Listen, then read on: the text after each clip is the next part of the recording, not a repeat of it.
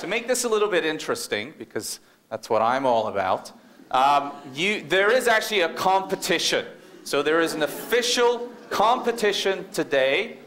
The rules are that there may be judging, and this, the other rule is that there are no prizes. But, but that being said, there is an official competition, and the idea is that you currently start off as a level zero TEDx Terry Talks conference goer.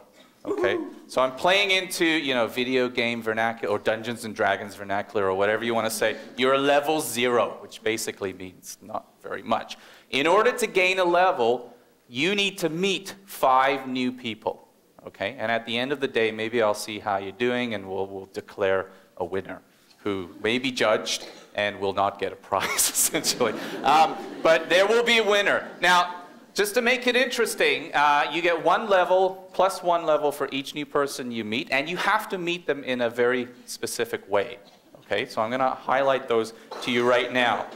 So, one way is the classic going in with a handshake. So I could be like, hello, Mr. Solo, it's very nice to meet you. So that's fairly straightforward. So at the very least, at the end of the day, I think everyone should be level one, right? Okay.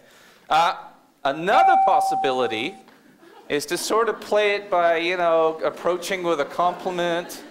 You know, I could be like, I like what you do. Where'd you get those boots?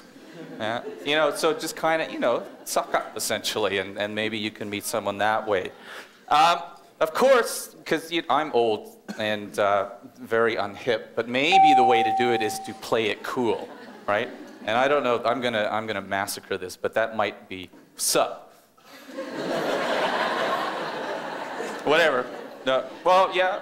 What? No. Yeah. So, so that's another way maybe you can approach, right? So those are three different ways. They're each worth a different level.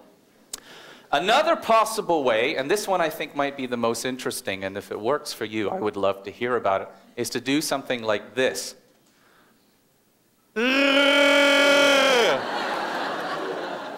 Which, of course,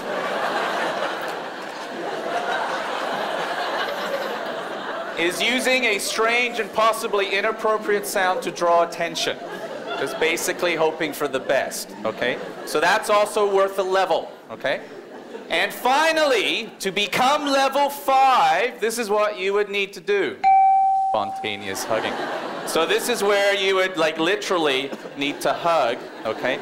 Now, we need to set some ground rules because I was talking to a friend who's sort of a black belt in Taekwondo, and he's like, Dave, I don't, I mean, if, if, they, if somebody approaches me aggressively with a hug, I would actually take them down and, you know, you know, you might, you might accidentally break their pelvis, and we don't want a conference where break, broken pelvis is sort of the uh, trending hashtag or something like that. So, so it's up to you how you approach this, but maybe it's just sort of like, right? And then you can go up ahead, okay? So that's up to five levels. And for those of you who complete